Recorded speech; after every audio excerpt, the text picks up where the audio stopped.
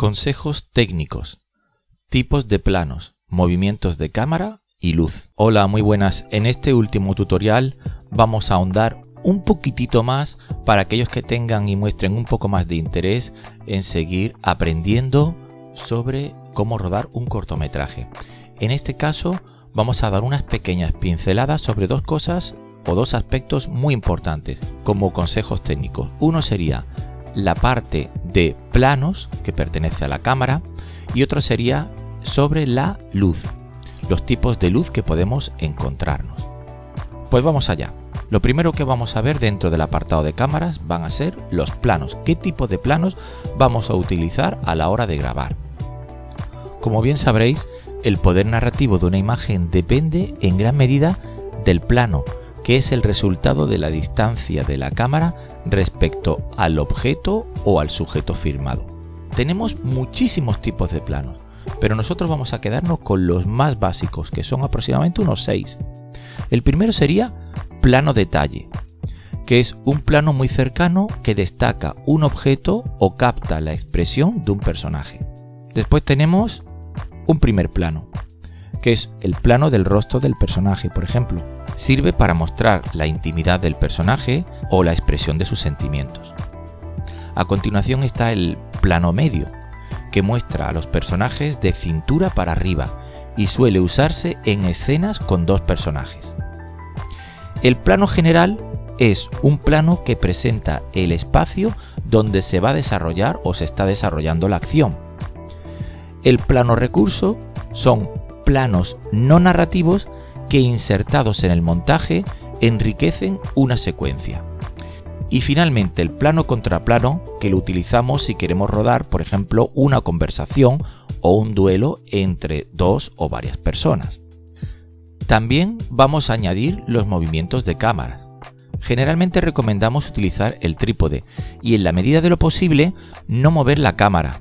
Y cuanto menos utilicemos el zoom, mucho mejor.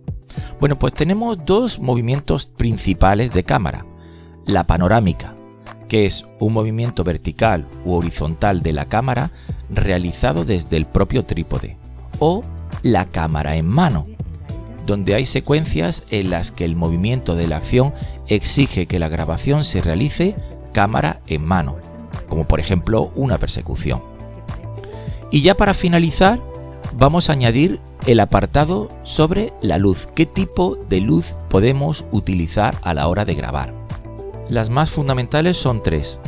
Luz natural, de donde podemos aprovechar como gran recurso o fuente la luz del sol. Aprovecharla es muy aconsejable, aunque debemos tener en cuenta que cambia según la hora y el estado del tiempo o la estación del año. La luz artificial, su fuente es la luz eléctrica de una lámpara o una bombilla. La emplearemos sobre todo en escenas de interior.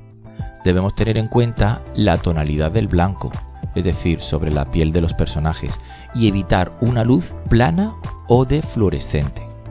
Y finalmente tenemos el contraluz. Si grabamos a un personaje que tiene una fuente de luz detrás, nos quedará oscuro. Así que este aspecto sí hay que tenerlo muy muy en cuenta. También tenemos el apartado de sonido y el apartado de edición, donde se da también unas pequeñas pinceladas en este documento que os he dejado en el video tutorial segundo, es decir, en el anterior. Es un documento que pertenece a Participa Melier y con la obra social de la Caixa.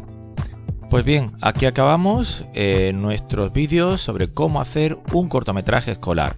Eh, os animo muchísimo a que hagáis eh, cortometrajes, a que hagáis vídeo, os grabéis y que seáis creativos con una idea que es lo más fundamental. Una idea que tengáis que sea lo más original posible.